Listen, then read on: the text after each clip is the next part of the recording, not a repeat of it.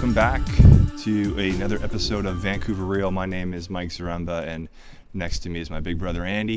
Hey everybody, good to be back. What episode is this? Anyways, 20, 20 four. 24. So we're moving almost, up. We're almost at the quarter century mark, which is good. Yeah. Uh, happy holidays to everybody, um, and we wish everyone a, an awesome 2015 coming up.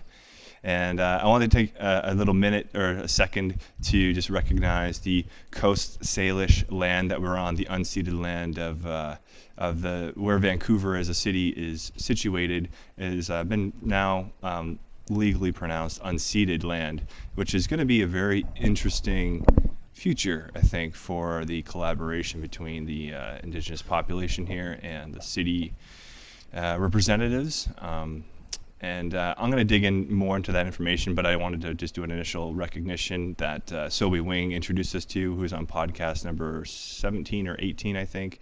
Uh, he kind of brought that up, and I think it's important to continue that on. So we'll we'll kind of recognize that for each podcast, and I'll get more information to be a little bit more uh, technical with it and have a better understanding of what actually that even means. So. Um, so as always, we're podcasting here out of Float House in downtown Vancouver, BC, in Gastown. We're at 70 West Cordova Street, and our website is floathouse.ca. Um, If you Yeah. enter the um, promo code, what's the promo one for today? Probably the promo code cannabis. Yes. Probably appropriate. Uh, if you enter the promo code cannabis, you can receive a 20% discount off a single float. Yes. So uh, take advantage of that, people. And um, I'll also plug Omega Point YouTube channel, which is Omid, who is our missing partner today, who's not here, but uh, he still helps us with the editing post production wise and uh, just get everything all pasted together. So it's O M E G A Point. Uh, it's a really cool YouTube channel where Owen puts some really thought provoking videos on there. And uh, so go check it out if you get the chance and subscribe to his channel. And and finally, I just want to, we've never really thanked the people who regularly listen to Vancouver Real and support us and subscribe to the channel and listen on iTunes and share it. Um, you know, we're, we're in a young stage of it, but uh, the people that are giving us the positive feedback um, and the encouragement to keep going with it, we really appreciate it. And uh, we're gonna, you know, we, we love doing it, so we're gonna keep doing it. And it's something that, um, you know, we'll let it take its own course. But uh, thank you so much for your support. Thank you. Yeah. It's been awesome so far. Cool. Now let's move on. On to bigger and better things, because today's guest is someone that I met personally, uh, oh, maybe a month, two months ago, three months ago at the Spirit Plant Medicine Conference at UBC. And um, he's an author, a cannabis historian, um, and I'm sure there's much more to it than that. But today we have Chris Bennett with us, and I'm just going to show his book right away. Uh, this is his third book that he's written. It's called Cannabis and the Soma Solution. So this is something that's been around the internet, the the Soma mystery, really, for a long time. And uh, you know, Chris has written a whole book on the solution of it. So we're going to dig into that um, today. And, and I mean, I heard him talk at the plant medicine conference, and uh, it, uh, it really was a fascinating talk. And it felt like you could have gone on forever. But um, anyways, long-winded introduction. Chris, thanks for coming on. Vancouver Hey, always Real. a pleasure, and uh, it's cool to see what you guys are doing down here. Thank Good you. stuff. Yeah. Cool. Um, and I'll also say his book is available on Amazon, so go and check that out uh, if you uh, if you choose. Um, and Chris, so welcome, and uh, we wanted to.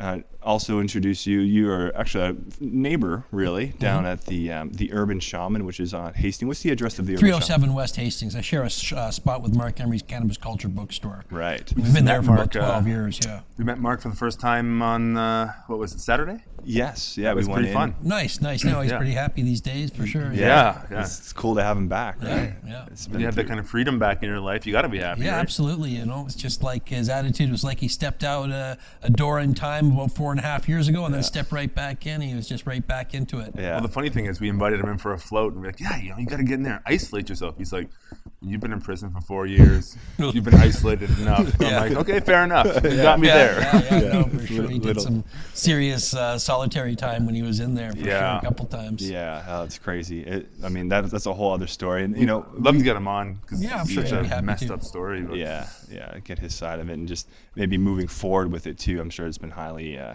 talked about for him. But um, you know, it'd be nice to move forward with his future goals and projections. and. Absolutely. But- so you, uh, the Urban Shaman Shop, which Yeah. is, is inside the store as well. and- That's right, yeah. And we specialize in plants used in shamanism as well as natural relaxants and uh, uh, energetic plants. So we have stuff like Salvia divinorum, peyote, live and dried, uh, plants used in the making of ayahuasca, things like kratom leaf and uh, blue lotus. And, I'm uh, intrigued to try the tr- the, uh, the kratom actually. Kratom's the most popular thing we sell, you know, Yeah. and it's a really fascinating plant. It's got a lot of medicinal qualities people are only just rediscovering. In small amounts, it's a stimulant, and in larger amounts, it's more opiate-like, and it's being used a lot, a lot in uh, the treatment of opiate addiction, particularly people trying to wean off things like ox- OxyContin, which there's been a, a huge epidemic of addiction on.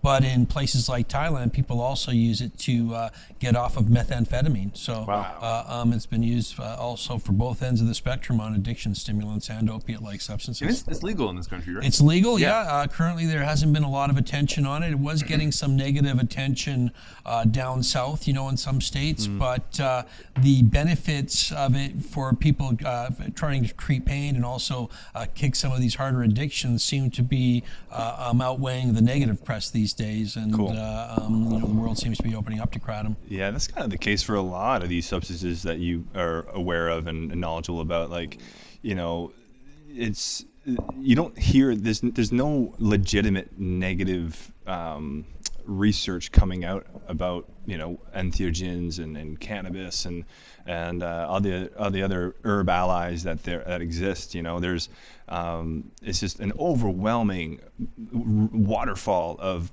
like potential applications. Absolutely, you know the, the research going on uh, again, you know, and things like psychotherapy with MDMA. There's going to be the ecstasy P, P, uh, TSD uh, study here in Vancouver. I believe that's uh, going on now, isn't it? Yeah, yeah, I think MAPS. so. And uh, LSD psychotherapy in the U.S. for the first time in decades. Yeah. Uh, a lot of uh, a lot of interest in these substances and a lot of positive press. Although they are still, in fact, quite illegal, and people are still going to jail for Yeah. uh, the production, distribution, and even use. You know. Yeah, yeah. Well, the prohibition of cannabis is probably one of the most hypocritical uh, laws of our time.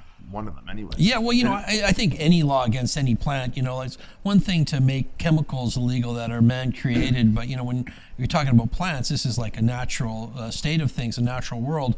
And when you're talking about a plant like cannabis, you're talking about a plant where we've been using it for tens of thousands of years, according to the latest uh, research, archaeological evidence for hemp uh, fibers and uh, tools used in the uh, degradation of hemp, Yeah, breaking yeah, the fibers off, go back 25, 30,000 years Wow. uh, um, now from late, the latest finds. So this puts it way, way back in human history. Yeah, I really enjoyed the documentary, um, The Culture High, the Mm-hmm. Adam Scorsone one. I just watched that for the first time, and it kind of does highlight so many things that are just wrong with the whole system. You know, the fact that cannabis is still illegal when alcohol and tobacco are out there killing way more people than cannabis ever has every Yeah, single yeah. year, and it's still, you know, yeah. under prohibition. Yeah, well, you know, it's debatable whether cannabis is, itself has killed a single person. You know, people have died Yeah. well under its effects, you know, in accidents and things like that. But as far as But in terms of uh, overdosing and overconsumption, there's Yeah. you know no real evidence Yeah. that that's even taken place. And Yeah. uh, you know, this is something we would know about the plant in the thousands and thousands of years of recorded use. They say that we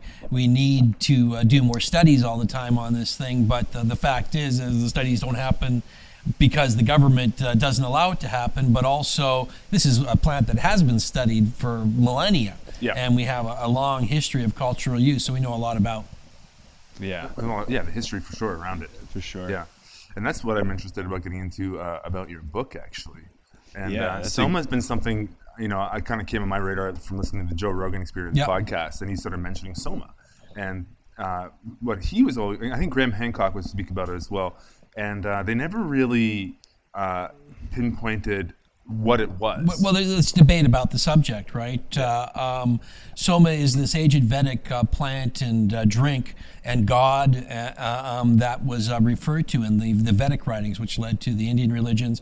And it was also referred to under the name Haoma in the Persian writings uh, uh, of the Avesta. And uh, that's because the, the Persian religion and the Indian uh, Vedic religion come from an earlier identical source uh, via their Indo-European roots, and so uh, um, this came came into India.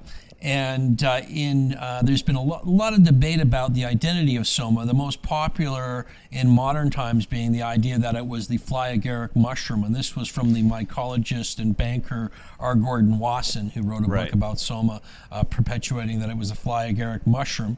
Uh, in my own book, I, I and uh, I also cite a number of authors uh, um, find a number of flaws in uh, um, Wasson's research, and I think he was to some extent willfully ignorant. You know, like for one thing, he didn't discuss the uh, the Avesta texts uh, regarding Haoma, and they're quite clear on their descriptions of Soma as a plant, green plant, bushy plant. You know, um, and and then in the Vedic texts in the tenth and 9th mandala, where the actual uh, physical descriptions are given of the Soma he left those texts out saying that they were much later than the other versions uh, um, and therefore didn't identify the original substance. And another thing is, is they again identify a plant with branches and leaves and uh, uh, green and purple in color. Uh, um, um, so it's right there. Um, in my own book, you know, also there's been some archaeological discoveries that have taken place uh, since the time uh, Wasson wrote his book.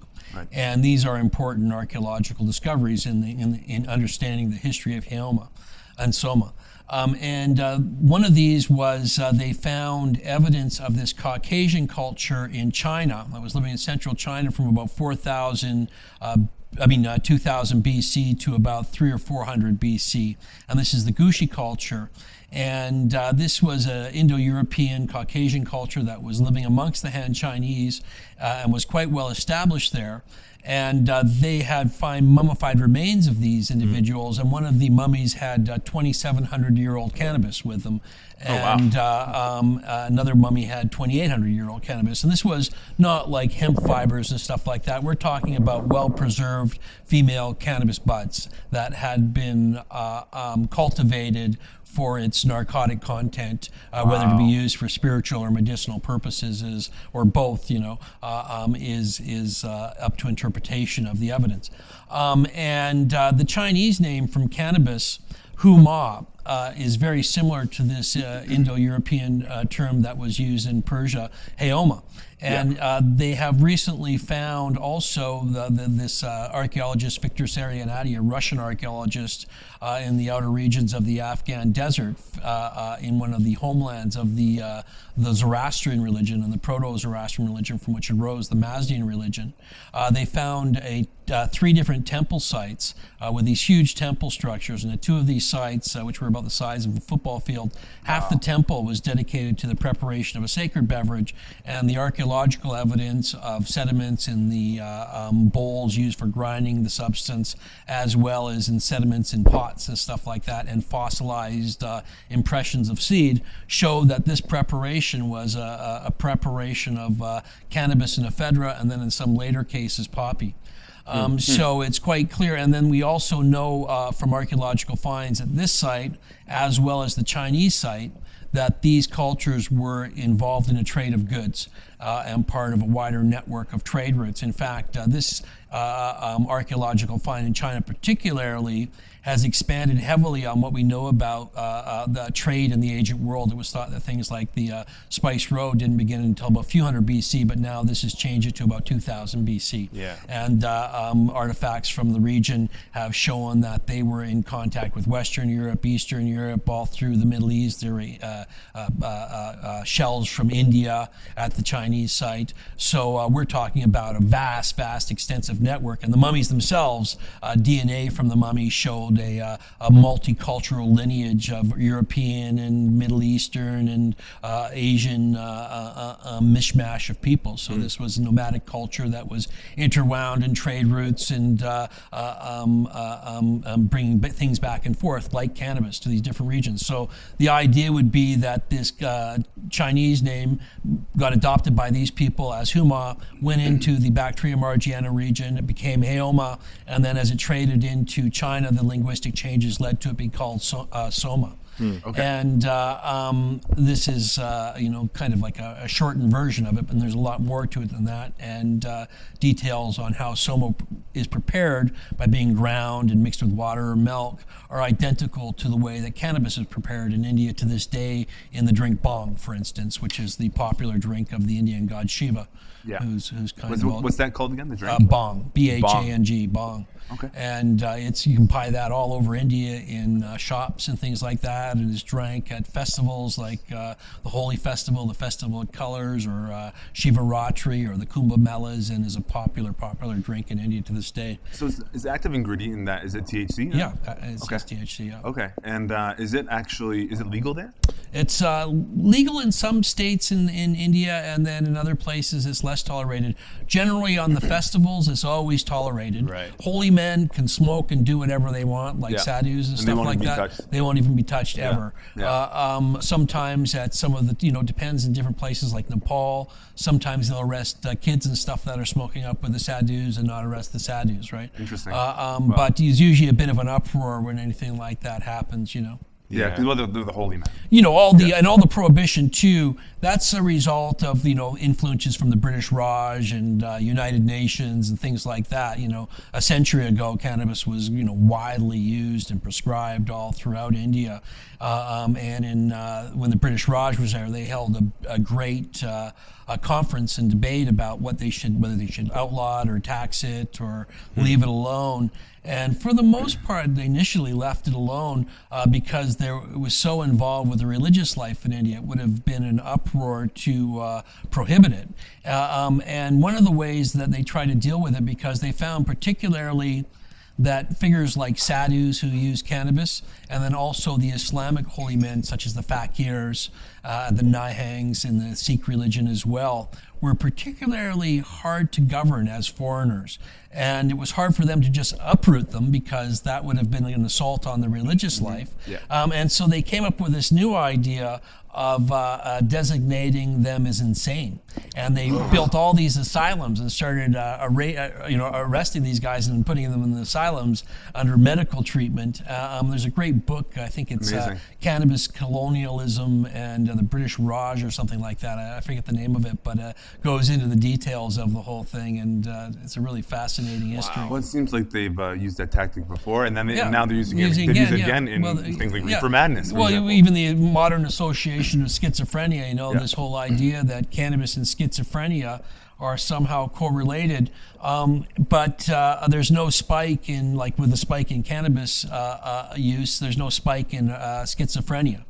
But you know, I do think that uh, things like THC can exasperate schizophrenia, and you know, it's interesting, uh, um, particularly you know, like uh, when you when you think about the role of cannabis in the agent world in relation to this. And you know, I should point out that the, the use of cannabis goes far beyond these Soma references, and there's references to cannabis throughout the agent world, Middle East, Babylon, Assyria, uh, even the biblical uh, texts. wow. Um, and uh, um, one of the ways that, that cannabis was used uh, uh, was more of kind of like a shamanic context, and, and this is, would be included with the Soma inhaler. Uh, um, and uh, um, in places like Babylon and Assyria, uh, they would burn cannabis as a temple incense uh, um, while people were dressed in elaborate costumes, much like the winged costumes and masks that Native Indians wore here.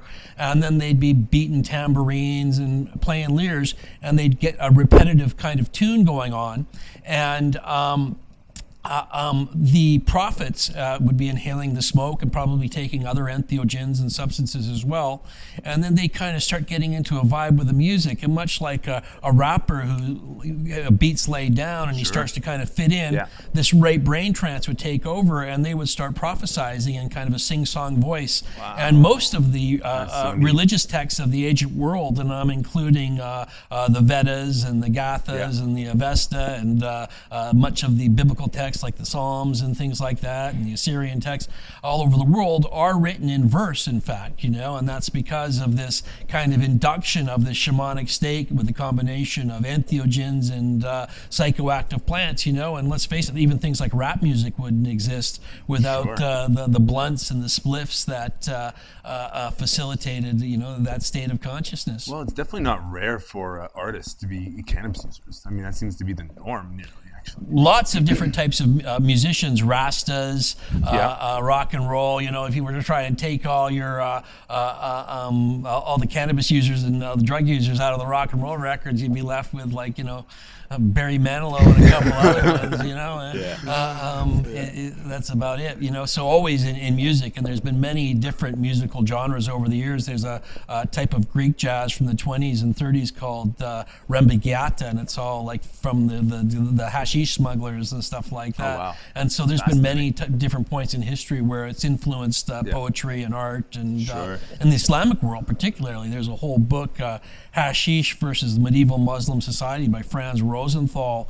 And it's basically, you know, poems for and against hashish by Sufis and dervishes. You know, like some sects preferred wine over hashish, and some preferred hashish over wine, and some mixed their wine and hashish together. You know, and they all all wrote songs and poems about it. You know. Yeah. Yeah.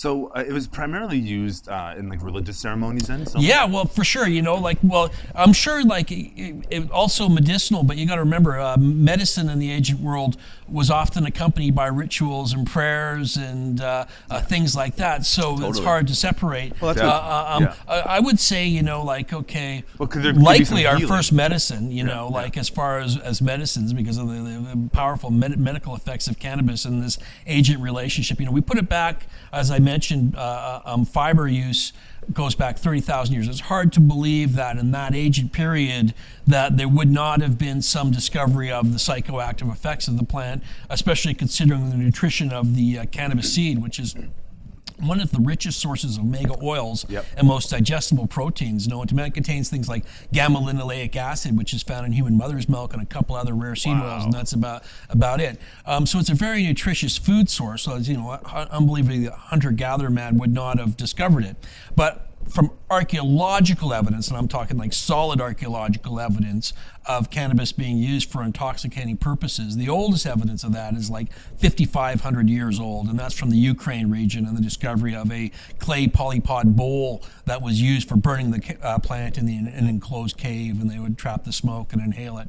Um, so we know from at least then that they were using it, but it's hard to believe that earlier that it would not have been used. We just haven't found the archaeological evidence of it, which is hard with a plant which breaks down uh, um, usually from you know over time and stuff like that, unless it's been burnt and carbonized, or like the Chinese find is frozen in dry, dry climates, right?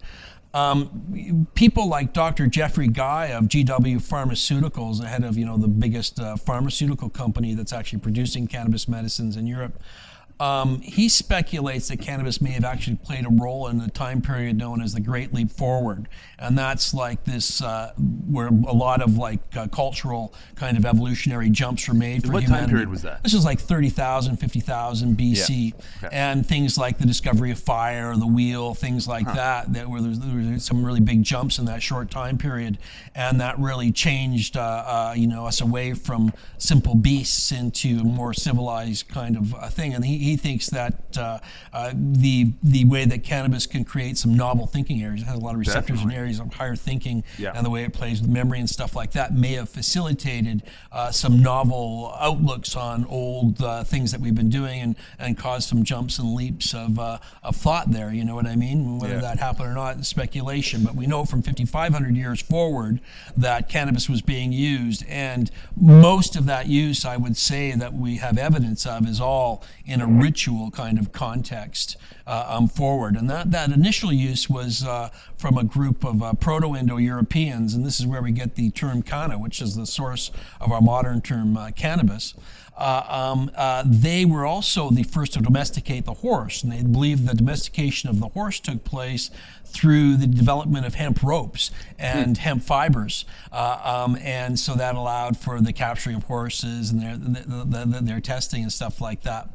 And uh, uh, um, th- then, because of this high mobility now, they became nomadic and they spread the use of cannabis throughout the ancient world. And that's why, uh, uh, uh um, in different countries uh, and regions, uh, the terms for cannabis are often related. They come from the same root kana. And uh, um, we, we know in French, chanvre, and it's got that AN of kanva, and German hanf, and uh, in Sanskrit, uh, sana or kana, uh, um, and uh, all over this, this in Dutch canvas. All of this is because it came from this one original culture that spread it out and spread Sorry, out. Where was that culture? That was originally in Ukraine, Indo-European culture, and spread into the Russian steppes and spread out throughout throughout that region. But coinciding with that, there was also this agent Chinese use, which is just as agent. And so it was already spread, you know, right around that region, five, 6,000 BC was in, in, wide use. And uh, in the Chinese, the pharmacopoeia already by, you know, 1700 BC, there's references to cannabis medicine and stuff. You so know. it's the Ukrainians. Uh, um, Ukrainians. so no wonder we mesh with this so that's well. Right, that's right. well, we have a Ukrainian background. Yeah, so. Ukrainian background. Yeah. And then, and then they, they developed into later Scythian culture and they really spread it around, you know, a couple of millennia later. I want to ask you do you subscribe or do you have any thoughts on like Graham Hancock's, uh, you know, um, the species with amnesia, the the um, this lost civilization, this chunk of time where we probably had a pretty uh, pretty advanced uh, global civilization. I mean, not global civilization, but like pockets of like civilized society that has kind of gone missing. Like, does any of your research kind of uh, show you know, signs I, of that? I think that you know maybe pre-ice age or something that you, I don't know about like advanced in the state that we are. Like, no, you know, no, it wouldn't planes be planes and cars and things like no, no, computers. no. I don't think that at uh, all. Um, but, but you know, even like in recorded history, it's like you know these people like things like herbalism in Assyria and Egypt and places like that. We're we're only just kind of caught up in the last century or so because of the Dark Ages and the loss of all that type of knowledge, exactly. Right? Yeah. Uh, um, so there's definitely, you know, like, uh, uh, you know, for the, dark, the Dark Ages really kind of set us back. There was a lot of stuff going on before that. Um, you know, I don't know. I kind of find some of Graham Hancock's stuff a little far out, you know.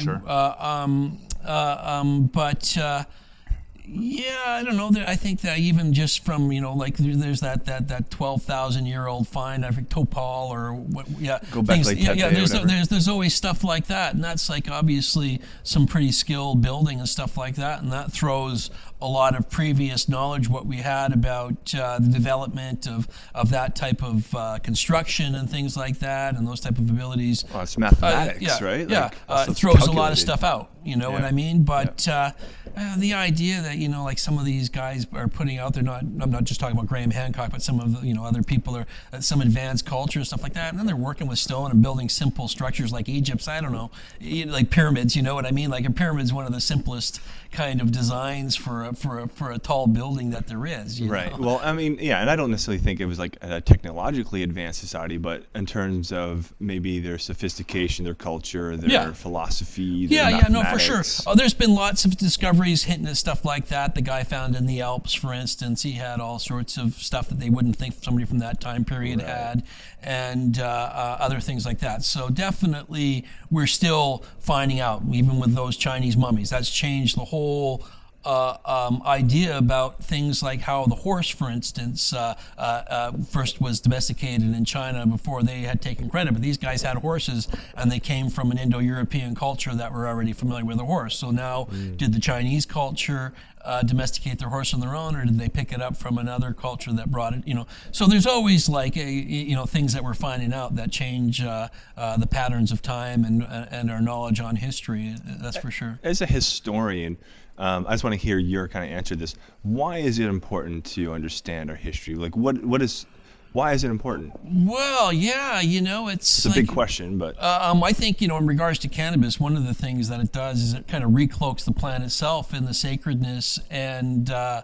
uh, uh, history of it. You know, it's like yeah. this incredible thing in the ancient world that was uh, revered, and you know what I mean. And then, uh, you know, first came back, it was almost kind of a joke, dope and Cheech and Chong and stuff like Sure. that. But then, as people really started kind of uh, uh, uh, looking into it, uh, it's like a pivotal relationship. It's almost like uh, interspecies dependency that we've had with this plant, yeah. and so much of when we strayed away from it. So many of our problems, you know, um, are created from that straying away. You know, like it was a major lighting oil until we started using whales. You know, and nearly killed all the whales off, and it was the first source of paper and a major source of paper until we started using our old growth forest down and cut down like you know 50% of the, the wood cut here even in Canada goes right to the pulp mill to make paper and Yeah. stuff like that. And one acre of hemp over the same 20 year period can produce as much paper as four acres of trees. It's a much safer and less toxic way to make paper. Definitely. Uh, um, and uh, uh, onward ho, you know what I mean? Uh, uh, um, uh, and then as a medicine, you know, even prior to prohibition, I, I put together a museum collection of uh, cannabis medicine bottles and other things. And, you know, I just found dozens and dozens and dozens of pre prohibition cannabis medicine bo- uh, bottles for everything from uh, uh, uh, head pains to female problems to coughs and colds to muscle re- reasons uh, to, to corns and bunions and all sorts of things. And we're now just rediscovering that. You know what I mean? It was like Yeah. a major part of our pharmacopoeia, major uh, medicine, uh, um, even for like probably the most popular cough medicine prior to uh, cannabis prohibition was probably Piso's Cure, which uh, had cannabis indica as one of its uh, active ingredients. You know, um, and uh, um, a lot of the suppression, I would say, is also religious based. You know, uh, um, Roman Catholic Church suppressed these Gnostic sects uh, that were using cannabis, as well as pagan groups that you were using cannabis and other substances. That's what led to the Dark Ages. And then when it reemerged in uh, the witches' times, with the witches' ointments, with other um, nightshades and other things in it and stuff like that, it was again a real war on that. And then the New World, anytime. I would say the roots of drug, modern drug prohibition is Christians versus the devil's weed. You know what I mean? And anytime that that Christians culture has uh, come into contact with the use of these types of substances, be it in peyote and mushrooms in the New World, uh, uh, or you know things uh, su- such things in Africa and stuff like that, it's always been considered some sort of devil's work and devil's play, and that's been the truth since uh, you know the, the the Roman Catholic Church took over in the fourth century. So the question that I would have then is why?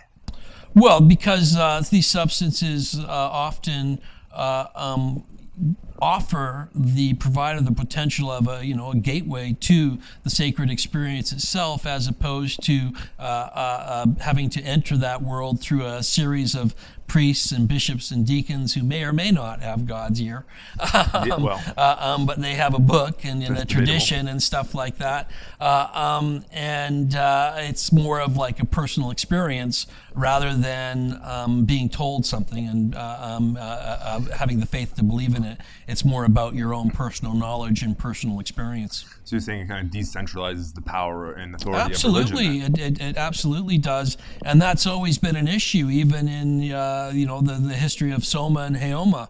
It had to do with their disappearance had to do with the hierarchy that had formed around them, and and that's true of many substances. I see many gatekeepers uh, uh, forming around these things, saying, "Oh, you can only do this peyote this certain way, or the ayahuasca. This is a particular ritual." Um, but even in the, the, the, those things, that sort of area themselves, there's all these different traditions and all these different rituals. Right. It's not like anybody's holding the uh, uh, uh, uh, the right particular way. There's just ways that have worked for some people, and they kind of continue doing it.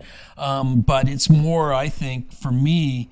In regards to these substances, it's more about uh, the effects of the experience themselves. Although I find that uh, learning about their role in history and the influence they've played on human culture a fascinating subject. And and what do you think it is that the the effects of soma or cannabis use actually how would that influence somebody in a spiritual or religious type way? Well, that was what I was saying. Oftentimes, it was used in conjunction with music and things like that to facilitate uh, a kind of right brain um, uh, trance that uh, facilitated a kind of a poetic state of consciousness, and the person would uh, um, start rapping out Right. material. Right. And that was uh, common of a lot of oracles of the ancient world. Also, much larger doses, like for the Zoroastrian religion, for instance, the references we have to there of cannabis uh, use under the names uh, Bonga and Mang. And where are they out of? Uh, they're out of Persia, Persia. uh, Afghan region as well, Bactria margiana. Um, and uh, they were like an empire in the ancient world for Yeah. a long time at Yeah. their peak, right? Uh, um, and uh, the references there, the cannabis, usually a potent extract, probably some sort of hash oil or hashish extract, would be uh, infused in wine and then consumed. And it was so powerful, it would knock a person out for a couple of days. And they would be in like a death like coma where they would appear to the outsiders perfectly still and uh, uh, um, breathing just disappeared down to nothing. And then when they returned from uh, um, the effects of this, they would say, Oh, you know, I was up and I tr- crossed the, the bridge of life to death and I saw heaven and the, the, the righteous were being rewarded and then I saw the pits of hell and the wicked were being, and all this would be taken down as an actual out of body experience. You Sure. know what I mean? They Yeah. actually believe, much like, say, Aborigines in Australia believe the dream time is a reality. They would believe that the uh, uh, experiences they had under the influence of these substances, which were so vivid and real to them, uh, um, were actual experiences. So, you know, then it's really dose related. You know what I mean? Like Yeah. more smaller dose, maybe like the temple incense, might throw you into kind of uh, uh, a state Introspection. where yeah, introspection, and then you can still verbalize and share what you're. Uh, whereas the other one would knock you You're out complete deep, deep sleep. And uh, this was a way that the Hashashin in the Islamic world also used it. They would like literally get knocked right out. And uh, That's so interesting. That's I mean that's why I feel like so many times we, you can have like a spiritual type experience in the tank uh, because you're you're just going inside. Yeah. You know you're going inward. And Yeah. That's really where the answers are, right? that's absolutely. And yeah. I think using cannabis in that way I, I definitely um, makes that experience more potent for lack Well, you know, like yoga and cannabis, they're both associated with Shiva, the yeah. oldest continually worshipped god on earth. But- and if you go to India today and you know walk along the Ganges River, you'll come across many sadhus and holy men uh, um, partaking of the chillum or drinking bhang before they uh, begin their asanas and start doing their yogic postures uh, as part of that. And that's been the way it's always been. You know what I mean? So uh, uh, um, that that's that's the tradition. Shiva, you know, gets high before he does yoga. yeah. Well, you know the funny thing is with a lot of modern yogis is that's almost been shunned. It's Oh, like absolutely, absolutely. You know, that, I would say you shouldn't be neo on- yoga pant yogis. Yoga pant yogis. Yeah. Good, good call. Um, go, oh, it's like not the way. No, no, that's all Western influence and stuff like that. But it's always been a part of tradition. No, every, all, all the time, everywhere. You know what I mean? There's been always been probably yogis who don't use it as well. Patanjali in his Yoga Sutras uh, even talks about some of the yogic powers being attainable through the use of certain herbs and things like that. And he's likely making a reference to cannabis and stuff that was in use by Shaivites and stuff that predated even his writings. You know? Well, I know personally, like, um, I've had amazing experience having an edible before a yoga class. Like, I'm talking, I don't, I mean, you, you can't even describe. I them. do it all. The, I, I- I haven't done it for a while, but I I, used to do it all the time, and those were the best classes I would ever have. Even just on, on a physical level, with no, Yes. not you you worry about the meditational side so much. Just on a physical level, you get so in tune with your body. You get really in tune with like your your muscular control, and like I, I find it becomes a lot Uh, more of yeah. a finer and refined experience when I'm actually in class. In fact, we even used to, to do it with uh, jujitsu, Brazilian jiu-jitsu. Yeah, right. Your game would become tighter. You Hmm. know, you you you you you tighten up everything. You become better. I mean, maybe your your stamina's not quite as good. You're a little more lethargic and tired, and sometimes you might wander off. But if you're actually in it and really in it, for Zen like it sports, enhances it can be really good. You know, I, Yeah. I think you know as a surfer, lots of times Sure. uh, the the main surfers at the break were all puffing before going out for a Sure. session. I think if you went around to skateboard bowls and uh, Oh, snowboarding players, hills and things like that, yeah, absolutely. Yeah. You know, it can really throw you in the zine. Even Bruce Lee, you know, like to partake of the herb. You know, and uh, I think that under the right conditions, it can really facilitate concentration Yes. and uh, help get you in the zone. Of, that's why artists and musicians also, uh, um, you know, that kind of helps put you in the zone, shut everything else out. I think cannabis is really good for doing what you want to do. Maybe not so great for doing stuff that you don't want to do, like fucking boring taxes and things like that. You know. exactly. Yeah. If you're if you're into if you're working and trying to you know concentrate on something you're not into at all, it will definitely show you that and be like, yeah, this Yeah. is maybe not what you want to be doing anyways. So Absolutely. I think that's what its kind of threat is to the uh, industrial complex is that, you know, There you go. uh, Okay. um, Yeah, it's like, uh, interesting. uh, uh, um, I forget the name of that uh, long dead comedian there. Um, uh, um, Oh, D- Carlin, no, another guy, the, the younger guy. younger guy. there. Um, uh, but he, he had a joke about, you know, do I want to go to work today or do I want to stay home and learn how to play the sitar? It's kind of, after smoking a joint, you know, the decision becomes a little easier to I'll- make. I'll pick the sitar Uh, any Hicks, day. yeah, Bill Hicks there. Yeah, Bill Hicks. Yeah. Yes. Yes. So do you think that's partially the reason as to why in modern times? it's In modern times, it was outlawed by a lot of racism. You know, for one Yes, thing, both yep. in Canada and the United States, that played a major effect. If you're to believe Jack Herer, there was like this whole industrial conspiracy by oil companies and paper companies to outlaw the competition of hemp. Um, I think it had a little more to do with racism and uh, uh, the influx of cannabis in jazz clubs uh, and blacks and whites fraternizing and mixing, which was uh, a real social upheaval at the time. And it's pretty clear from the propaganda that was used against it to get it prohibited that that played a major role both here in the United States via Harry Anslinger and here in Canada uh, via Janey Canuck, aka Emily Murphy, Canada's first female judge, who wrote about uh, such substances. Uh, uh, being a vehicle for the dark-browed races to subdue the bright-browed races, so quite clearly Yeah. a racist overtone there. Well, um, Mark Haden from uh, MAPS was actually talking about that as well, and he said a lot of the prohibition uh, origins come from race from racism. Yeah, actually, absolutely. including the Chinese with opium. Yeah, um, here in Vancouver, with, even uh, the Chinese cannabis. opium uh, wars. Ex- And, yeah, exactly. That's what he was talking about. So it's almost a tool for the powers that be. Uh, And it's ironic because you know England forced uh, uh, China to take opium and stuff from them when they were you know exporting and importing. Of course. It was like uh, um, so it's like you know the cause, and then the uh, I don't like it when it comes home. yeah, so interesting. I know. Right? It's crazy. Uh, so cool. How how long have you been doing this kind of research for? I guess about 25 years, you know. Yeah. Uh, um, and uh, my first book came out in 95, but I've written some articles and stuff before that. Um, and uh, yeah, so about 25 years. Do you have any uh, future um, works in the mind there? Well, I've got a book half written about cannabis and the occult, and that was something I also wrote about in my first book. You know, people like uh, Aleister Crowley and Gurdjieff and Helena Blavatsky and other figures uh, that are well known in the occult world that were deeply involved with cannabis as well. Um, going back to alchemists and other groups. Um, but uh, mostly I've been working on videos. I've been producing some videos for the internet. I've got one people might want to check out, Kaneh Bosm, the hidden story of cannabis in the Old Testament, and they can see on YouTube. And interviews with other cannabis historians like Dr. Michael Aldrich or Michael Horowitz about the wide history of cannabis. I'm actually quite ignorant. If you can go into a little bit like the occult, like what what is the occult? Um, Well, you occult know, just means hidden. hidden. I just got a little, something in my throat here. Yeah, all no right. problem. That's something I've always been very curious to know about. the occult. the occult Is that what it's called? or occult?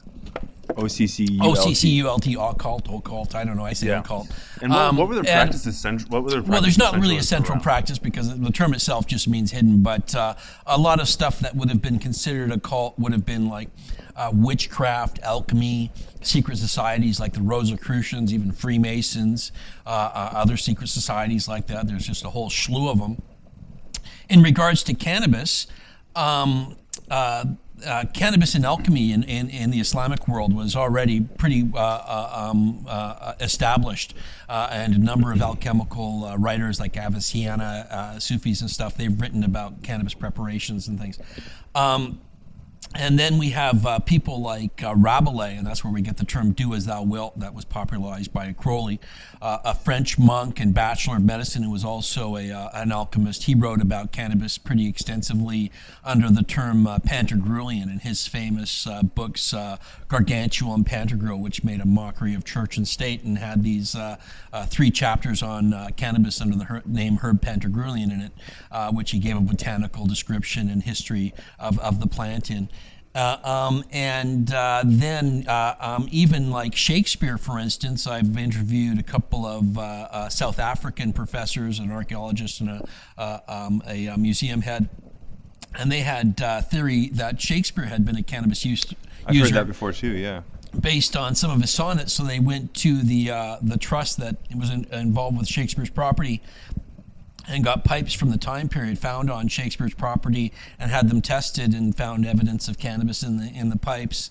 Uh, um, and uh, uh, Dante, a number of Dante scholars are speculating that Dante may have partaken of some sort of hashish preparation under the name of grains of paradise.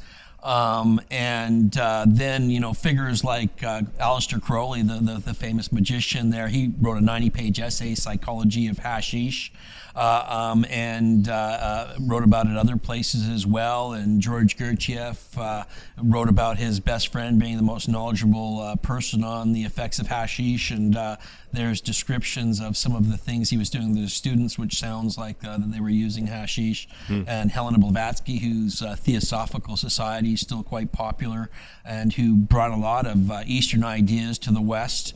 she was also an extensive user of hashish. So it was pretty prevalent in the whole occult and a number of secret societies, Rosicrucian groups. There's people like uh, uh, uh um, Paschal Beverly Randolph, who was the uh, kind of the chief of the Rosicrucians in the 19th century in the U.S., was also one of the biggest importers of hashish. You know, so uh, mm. there's a long, long history probably that developed after the Crusades and likely via the Templars, who are also thought to have been cannabis consumers. And apparently, there's a recipe for cannabis infused wines uh, amongst some of the the, the, the, the Templar, existing Templar writings and stuff. So uh, you know, pretty pretty early stuff, you know, and yeah, pretty yeah. fundamental. Uh, you, you know, and a lot of that type of tradition kind of brought some life back into the whole uh, spirituality uh, in the West. And before that, it was just strictly in the hands of the church. It wasn't yeah. until some of these more hands on kind of uh, activities, uh, initiations and rituals and things like that, uh, uh, combined with entheogens, got into the hands of other people that religion really started to kind of come back to life in the West. Before yeah. that, it was just a dead tradition. And even amongst the spiritualism movement, which really revitalized a lot in the 19th century. Uh, uh, um, main figures in that, like Louis Alphonse Cahagnet and uh, Paschal Beverly Randolph, were deeply, deeply into cannabis and using hmm. cannabis for sort of astral traveling type of experiences. Wow, amazing. That's so cool. So, like, and for yourself, like, how do you, what's your like relationship with it? What do you use it for? How do you well, you know, uh, um, partake in the herb? Well, I generally, I, I, feel like I don't really. I, I, did used to do, you know, some symbolic things like tap my third eye and stuff, but uh, I kind of felt I was just doing that for other people. It's, I always know what, what cannabis is, and it's uh, it's great history. And so every time I, I take it, I'm taking this ancient mystical herb that's partaken of it. For me, I guess it's more about uh, liberating it and using it to really save the planet. Right now, marijuana is saving the world, in my opinion. You know, right now, every time somebody, every time somebody starts growing hemp, and uh, instead of growing soil depleting cotton, they're saving the world a little bit. Every time somebody makes some hemp paper, instead of cutting down a forest, they're saving the world a little bit.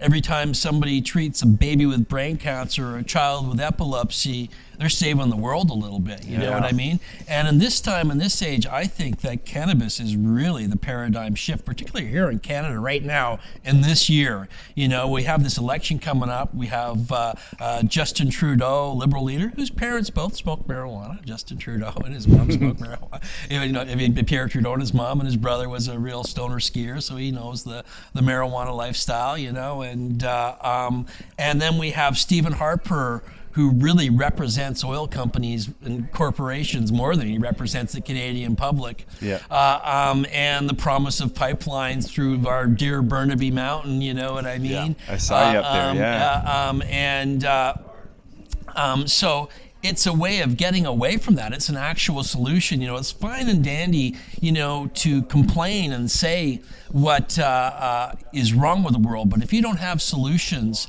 then what's what's the point? And that's kind of how I got into it. You know, it was like uh, I actually had a religious experience. Guys, that, guys, sorry, can we just a little quieter? Sorry, guys, sorry. We're just I mean, I'm at 45 minutes. Thanks. Yeah. Uh, um, and uh, I had a religious experience in the 1990 that led to my activism and my writing of my other books. And there was a few things that brought that together.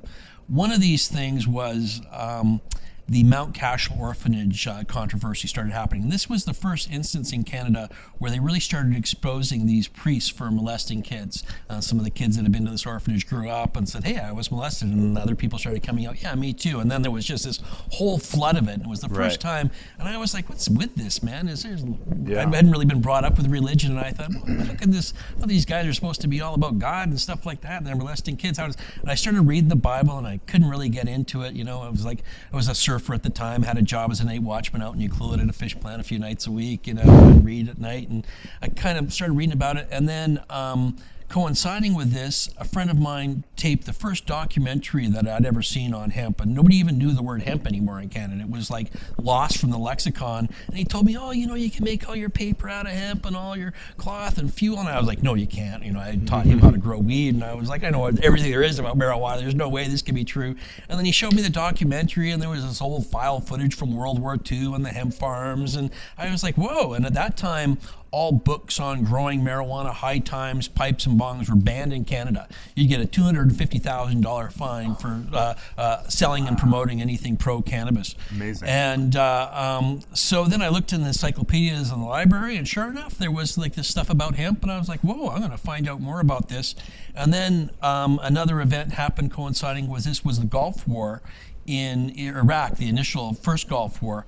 And one night I was uh, um, sitting, and also coinciding with this was the Clayoquot Sound controversy. And this was when they really started focusing on the environmental impact logging was having here in Canada. I grew up on the West Coast, lived in logging towns, fishing towns, and nobody had ever said anything about overlogging or fishing. It was just kind of the way of doing business. And then all of a sudden, environmentalists started showing up and saying, hey, you got to stop this. This is like killing the planet. And at first it was like, what the hell are you talking about? This is just the way things are around here. Yeah. And took a while to see, but you know, sure enough, I started to kind of recognize, you know, that these mountains were clear cut, and some of these areas it clearly wasn't growing back the way it was promised that it would, you know. And Mm-hmm. uh, um, so there was this whole thing going on, and then the Gulf War started, and Saddam had fired a Scud missile into Iraq, and because of this, they were comparing him to Nebuchadnezzar, the last king of Babylon. Babylon was actually where Iraq is, and uh, Nebuchadnezzar overthrew Israel, and he just fired this Scud missile. So one night, I'm at, the, at this fish plant reading a newspaper, smoking a joint about three in the morning in the, in the lunchroom, right?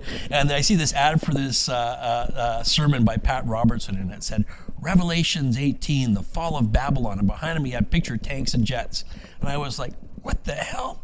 I'm going to read the book of Revelation right now and just see what Yeah. this stuff's about. And so I started reading it. And at the beginning of the book, John the prophet's given a scroll and he puts it in his mouth and it tastes as sweet as honey. And then he swallows it and it turns bitter in his stomach and he begins to prophesy. And I was like, well, Buddy is obviously eating something here. You know, what the heck is that all about? And uh, then there's like, you know, all these references to uh, uh, clothes of sackcloth and billowing clouds of incense. And I'm like, whoa, this is kind of tripping me out. And I got to the end of the Bible, the last paragraph, and it said on Revelations 22, it said, On either side of the river of life stood the tree of life, bearing 12, 12 manners of fruit, and the leaves of the tree are for the healing of the nations. And when I read that, I had this powerful experience where I felt like light just started funneling into my body, and that this was a reference to cannabis and its multiple uses and its uh, medical qualities. And I thought, oh, that must be what these Rastafarian dudes are talking about. I'd heard Bob Marley and stuff like that, but I hadn't really paid too much attention to it. And I was like, yeah, that's right. That's what... And I totally tripped out, and I called my wife up, and she thought I was having some sort of breakdown. And then the next day, I got up and I was like, what happened there? Was there did something happen, or was I just tripping? And I'd look out and I'd see these clear-cut mountains, and I'd be like, well, somebody's got to start saying something about hemp for for paper and fuel and fiber. You know what I mean? Because it uh, solves the problem of jobs and the economy. And so uh, at that time, there wasn't anybody else doing anything here in BC. It was before all this huge scene of cannabis was happening here, right? You know what I mean? There was nobody doing it. And so I started like uh, uh, tracking down hemp cloth in China and paper and importing a bit of stuff. And then I'd go to around uh, colleges and universities and I'd give like a little talk on hemp and hand around a little bit of hemp paper and hemp cloth. and, way. and then started making hemp foods and selling them and, and, and just kind of uh, uh, um, got into it because of the industrial impact. I'd already been smoking it for years, but I never really worried about it being illegal. It didn't really directly impact me. So what I was trying to get at there was like this incredible potential of this planet to heal us on so many levels from the, the physical world we live in to our bodies. And you know like as a religious sacrament like we're talking about a religious sacrament that has been used in some of the oldest existing world's religions taoism ancient chinese taoism. There's many references to cannabis for for its use to contact the spiritual world. There's like a chinese quatrain from around the 4th century bc first a yin then a yang. No one knows what i do. Jade pud's a holy hemp for the one that lives apart. In buddhism you know there's there's stories stories of how Buddha subsisted on a hemp seed a day for years uh, while he sat in meditation before discovering his divine truths. And uh, So it wasn't later, a rice a day, huh? yeah, there's a, a grain of hemp a day. Yeah, it's like in the like this is like four centuries. In my book, there, I, I- Cool. I cite the actual religious text. Some say a, a grain of rice and a hemp seed. Ah. Uh, uh, uh, um, but I think the more popular version became over time the grain of rice because of the association uh, of cannabis with more shamanic practices. But those shamanic practices returned in Buddhism and later Tibetan Buddhism, and in texts like the Mahakala and the Tara Tantra uh, uh, um, uh, texts, there's definitely recipes for cannabis for, for meditative purposes and stuff like that. Uh, in the Hindu religion, its its connection with Shiva is is paramount, and in festivals like Holi and Jagannath and Shivaratri, and then also its history as Soma, um, eh, or which is debatable, not as established as the later ones. Uh, in, uh, um, uh, in in in in in the Judaic religion, it was known as kaneh bosm, a Hebrew term kaneh bosm, that more and more scholars are recognizing as a reference to cannabis. And this is uh, a, a, a term that appears in uh, Exodus 30 23 after uh, Moses, who initially meets God, God in flames of fire from within a burning bush. He's commanded to make this holy anointing oil with about nine pounds of cannabis mixed with myrrh and cinnamon. And every time he's to speak to the Lord, he's to go into what is called the tent of the meeting, and he uh, uh, covers his body in, in this ointment, which is uh, uh, got THC in it, and THC is fatty soluble, it can actually pass through your skin. And then he places some of this oil on the altar of incense, and he speaks to the Lord on the pillar of smoke over the altar of incense in this enclosed temple, right? You know what I mean? And so when you throw cannabis into that scenario, uh, it becomes like an act of shamanism, and like shamans in South Africa, yeah. South America and Africa, he's in, taking a psychoactive plant, and uh, um, in the 1930s, uh, etymologist and anthropologist Sula Benet showed that this term was not calamus as it's translated in many modern Bibles, but was actually a reference to cannabis that was mistranslated when the Hebrew was translated into the Greek. And she shows this by tracing the modern term back through history, but also comparing it with Assyrian terms for, for cannabis, such as kanabu. And in Assyria and Babylonia, it was used in exactly the same way as a temple incense, but also as a topical ointment that was used to open one's ear to God. So uh, it's, it's pretty clear that uh, this was a reference to cannabis in ancient Judaism.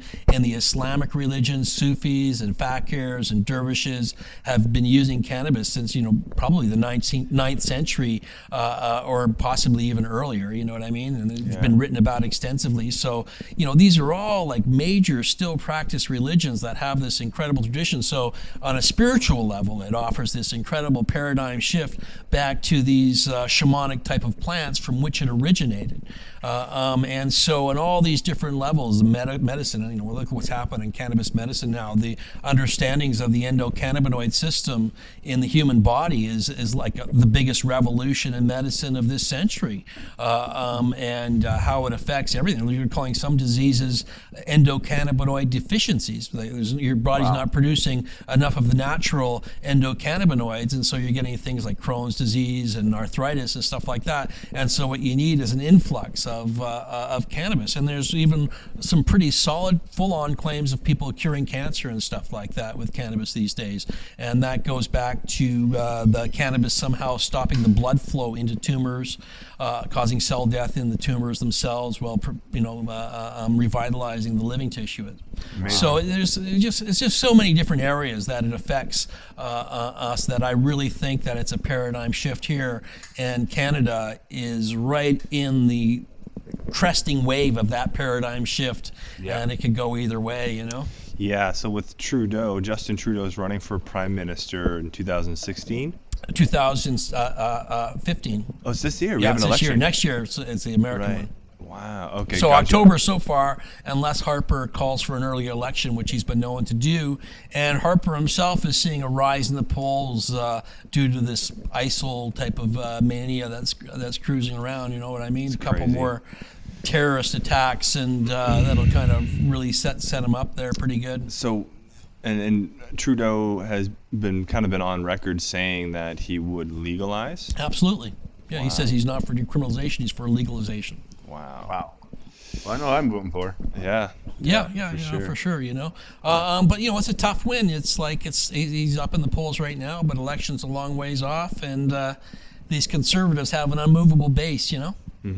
Yeah. Pot's been a really big issue for Harper, uh, always politically. Uh, even before he, he was an elected official, he was very anti marijuana. And uh, it's a religious one for him as well. His uh, Right. particular church that he's involved in is known for their uh, anti marijuana stance, even anti medical marijuana stance. Whoa. So uh, uh, he's, he's from one of these evangelical churches that's pretty, pretty right wing. Man, it's so it's so crazy that like you can't open up. You know, like imagine you had a conversation with him, you and Stephen Harper. Yeah. and you're talking about, you know, very clearly, concisely the the historical impacts, the medicinal impacts, and and you know he would just. I mean, I don't know how. I don't think react, anybody but- could ever have a conversation like that with Stephen Harper. You know, he doesn't even allow the press to ask questions that they haven't already been vetted. So uh, um, it's pretty hard. Yeah, it's all. He doesn't, he doesn't even talk to a lot of the press now. It's true. Uh, um, uh, so it's pretty hard for anybody to to you know reason with him about anything like that. And uh, he's surrounded by yes men. You know. That's nerve wracking. It's really nerve wracking that the leader of our country, Yeah. uh, I'm putting that in quotations, leader of our country, because you know I, I kind of go by the Terence McKenna quote: "We are led by the least among us." Mm-hmm. Um, we can't even ask him questions. Yeah, no, it's a pretty shut down government. Well, it's funny they had this anti-marijuana campaign going on right now, which Yeah. is kind of like their anti-marijuana, uh, It's anti, anti-Trudeau campaign. This way of using their tax dollars to kind of attack Trudeau in a, in a campaign. But uh, they posted their uh, anti-marijuana video on YouTube, and they've just been taking a beating on it. You know, That's- like it's like n- nine out of ten comments are like how terrible the conservatives are and how good marijuana is, and it had like you know probably ten times the amount of likes, uh, uh, uh, dislikes as likes. You know what I Yeah. mean? So uh, um, they're taking a bit of a beating on it socially, but uh, yeah, they. What's that surprised- video called? Uh, I forget what the name of it is, but yeah, I Yeah, don't just know. yeah, I've seen. I think it. we got to post that one up. It's getting Yeah. crushed. It's, It's, awesome. it's, it's getting crushed. Yeah, they've even had some new news I'm surprised they it. left it up. To be honest, Yeah, with you, yeah, 'cause yeah, It looks for sure. brutal. Yeah, no, for sure. Well, they always have their people. You know, the conservatives even have you know internet trolls on on their payroll that go around correcting people uh, um, on our tax dollars. You know, it's like Jeez. Yeah, so it's it's. I mean, that's that's why I personally don't choose to uh, really participate in, in in filling my time with learning more about it because it just it, it infuriates me. You know. Well, it is infuriating, but I think you know everybody's obligated in a, in a Sure. democracy to kind of Yeah. play a role and you know be at least aware and have some idea of who you're going to vote for Yeah. and stuff. Because uh, these guys got in last time from people not voting as much as they did with vote. They got a majority government with 24 percent Mm. Yeah. of the vote. You know, No, I'll vote. I'll definitely vote. and I know I'm just not going to vote for Harper. yeah, anybody that could beat him at this point would be be great. You Yeah, know? yeah, it's crazy, man. Um, Well, do you want to wrap it up for this week? I guess so. I guess so. I mean, we can keep, we can keep going. I This is know. one of those Absolutely. ones that could go on for hours love and it. hours, easy. Cool. But, Well, uh, but you're right on the corner from us. So. That's right. Yeah, Yes. for sure. Yeah, so that's Urban Shaman. Go visit Chris down at the Urban Shaman whenever you get a chance. Um, he's got a website too. It's called forbiddenfruitpublishing.com. That's right. And if you search Chris Bennett and marijuana or cannabis on YouTube, I've got tons of videos and Awesome. uh, interviews and other things on there people can check out. Chris Bennett on Facebook. You know, go and uh, follow him or connect with him that way. And also Amazon for his book, um, Cannabis and the Soma Solution. Let me get that on the camera Yeah, there, buddy. boom. There we go. No, flip it Look- over. Look at that cover. You got to flip it over. Oh, yeah, sorry, I'm flipping.